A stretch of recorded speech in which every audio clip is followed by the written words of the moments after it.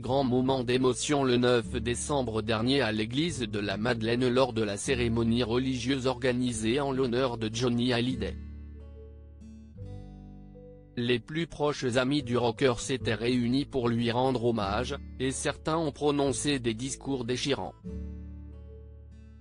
Certaines personnalités étaient aussi venues avec leurs enfants, et certains ont déposé des bougies sur le cercueil du rocker avec Jade et Joy et ses filles le fils du chanteur Marc Lavoine, le fils du musicien Yarol Poupeau, mais aussi les filles de la chef Hélène Darroze, et la fille de Marie Poniatowski ont tous déposé une bougie symbolique sur le cercueil blanc de Johnny Hallyday.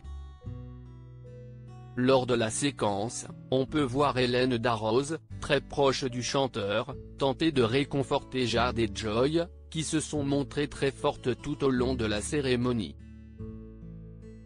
Enterré à Saint-Barthélemy moins de 24 heures après cette cérémonie religieuse très émouvante, la dépouille de Johnny Hallyday et ses proches, se sont envolés vers Saint-Barthélemy, où le rocker a demandé à être enterré.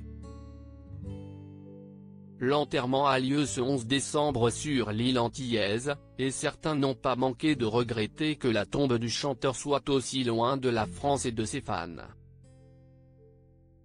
Si est-il le cas de l'ex-femme de Johnny Hallyday, Sylvie Vartan?